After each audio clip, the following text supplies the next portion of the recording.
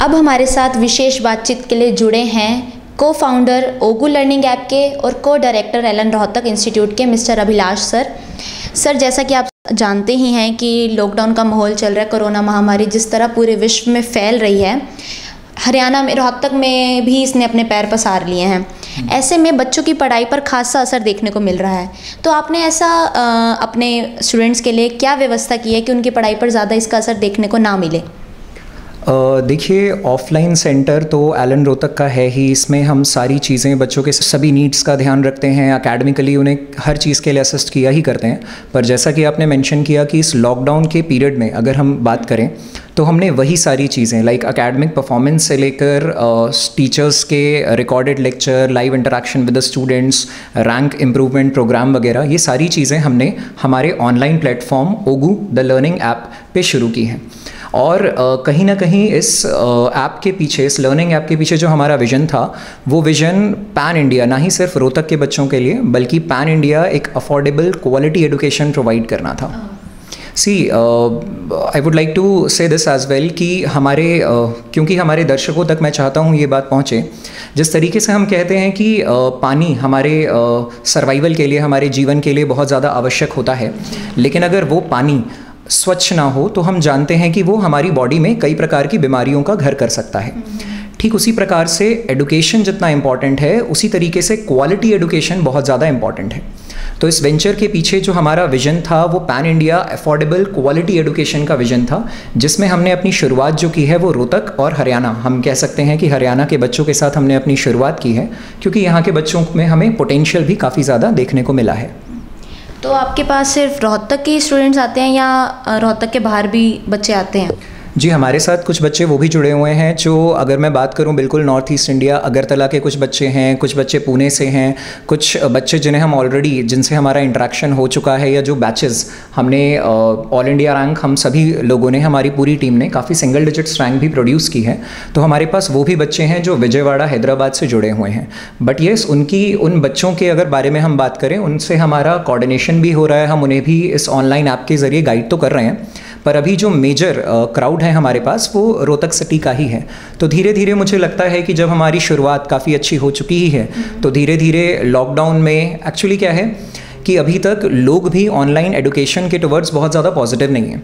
Specially लोगों का आज भी मानना है कि भारत में क्योंकि गुरुकुल की परंपरा काफ़ी पहले से है ही तो हम लोग भी दिल से ये मानते हैं कि नहीं वो परंपरा आगे चलेगी भी। पर जैसे लॉकडाउन का पीरियड है या जिस तरीके से हम ट्रेंड को बदलते हुए देख रहे हैं बच्चों का स्क्रीन टाइम काफ़ी ज़्यादा बढ़ रहा है। आजकल के बच्चे mobile phone tablets computer laptop इनके साथ बहुत ज़्यादा टाइम स्पेंड करते हैं।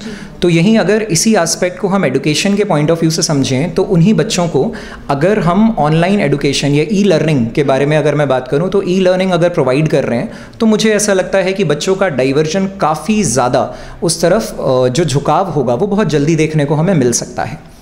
तो आप ये कह रहे हैं कि जो आपकी लर्निंग ऐप है वो कुछ फेस कर रही है पॉजिटिव या नेगेटिव इम्पैक्ट्स जैसे कि देखा जाता है कि लोग आ, कहते भी यही हैं कि बच्चे जल्दी नेगेटिव चीज़ें जल्दी कैच करते हैं बजाय पॉजिटिव पकड़ने के।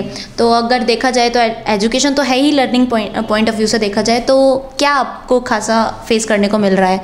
बच्चों को लेकर भी और पेरेंट्स को लेकर भी? देखिए नेगेटिव्स की बात अगर मैं पहले करूँ ताकि फिर से मैं यही कहूँगा कि मैं चाहता हूँ कि नेगेटिव्स को लोग नेगेटिव्स की तरह ना लें। वो इनफैक्ट ये सोचें कि अपनी वीकनेस को अपने स्ट्रेंथ में कैसे कन्वर्ट करना है नेगेटिव्स को पॉजिटिव की तरफ़ कैसे ले जाना है। तो मैं फिर मैं ही मैंशन करूँगा ये बात कि बच्चों का स्क्रीन टाइम काफ़ी ज़्यादा हो गया है। पहले भी बच्चे गैजेट्स के साथ टाइम स्पेंड करते थे, अब ई लर्निंग के बहाने वो और ज़्यादा टाइम स्पेंड करने लगे हैं। मैं ये नहीं कह रहा हूँ कि ये सिर्फ़ बहाना है, ये प्रोडक्टिव नहीं है। ये है बिल्कुल प्रोडक्टिव बच्चे पढ़ भी रहे हैं। बट ओवरऑल उनका स्क्रीन टाइम काफ़ी ज़्यादा बढ़ रहा है। तो इसमें अगर हमें एज अ टीचर और एज अ पेरेंट और गार्डियन गार्जियन जो भी अवेलेबल हैं बच्चों के साथ, वो अगर इस चीज़ को मेक श्योर sure करें कि बच्चा ज़्यादा से ज़्यादा समय अगर सिर्फ़ लर्निंग में ही बिता रहा है उसके अलावा वो काफ़ी कम अपने गैजेट्स वगैरह यूज़ कर रहा है और इस टाइम पे अपने परिवार के साथ टाइम स्पेंड कर रहा है या अपने लाइफ के बाकी के एस्पेक्ट्स को भी फोकस कर रहा है। तो मेरे ख्याल से वो एक बेहतर शुरुआत हो सकती है ई लर्निंग के ट्रेंड की। कहीं ना कहीं हर चीज़ के pros on cons pros and cons होते हैं तो ये कुछ हद तक एक नेगेटिव वाला पार्ट है।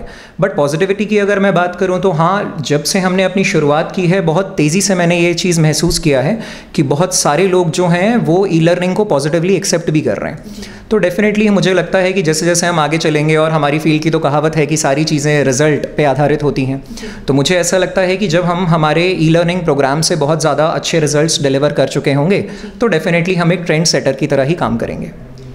आपको कितना समय हो गया ये वाली ऐप को डाले हुए?